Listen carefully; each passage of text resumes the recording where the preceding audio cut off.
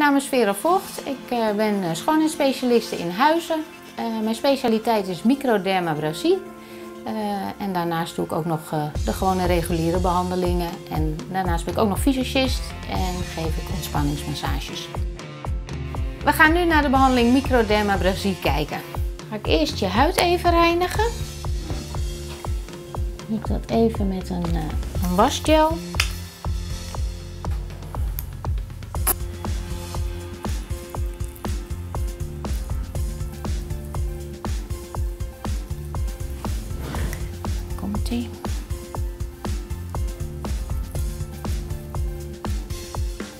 Dit is een, een apparaatje wat als het ware de huid licht pielt.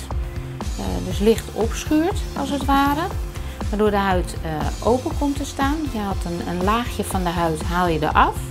Vooral na de zomer is dat mooi.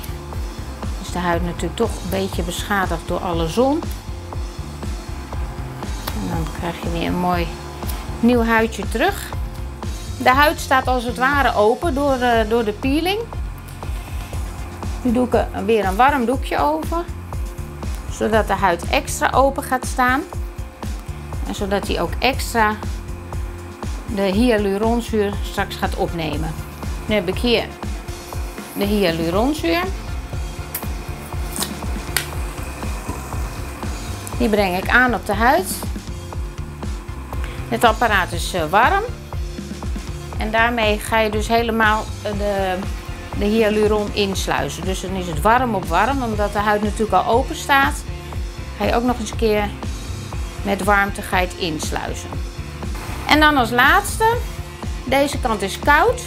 En daarmee uh, maak je de huid weer dicht, dus je sluit het af. Het kan koud zijn, het is eventjes dat je denkt, oeh, nou om je huid nog even te verzorgen, dan doe ik nog even een lekkere dagcreme erop.